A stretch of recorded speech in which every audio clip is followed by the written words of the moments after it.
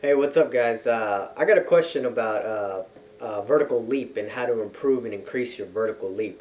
And uh, you probably can't tell by just looking at me, but I have a really good vertical leap, and I attribute it to uh, the specific uh, workouts or exercises that I do or perform during my leg and back workouts.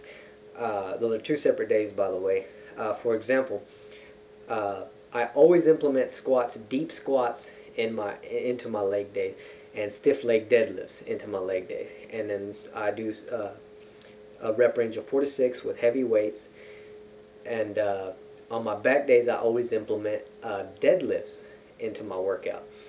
And uh, like a regular powerlifting style deadlifts, same thing, low reps, high weight, max OT style, like I've said in my other videos. Um, but uh, because of these exercises, I feel that I have a really good vertical leap. I'm going to put a clip in the end of this video uh, to show you how, how good my, my vertical leap is.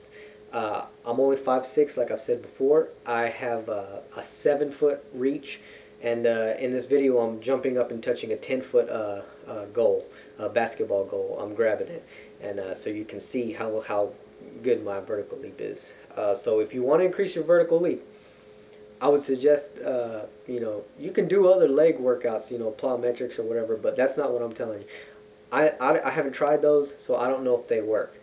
All I know is what I do works. So if you want to try what I do, these are the exercises that I do. So at the end, I'll also give a, a clip of my leg workout day and my back day as well. So if you want to, you know, try to improve your vertical leap, you know, implement these exercises into your uh, your workout routine and I'm sure you'll see good results. Um, but uh, that's pretty much it.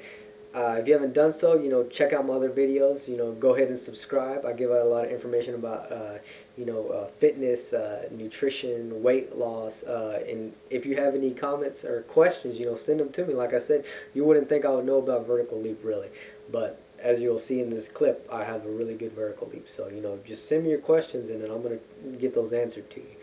Uh, so uh, that's pretty much it for uh, for the day.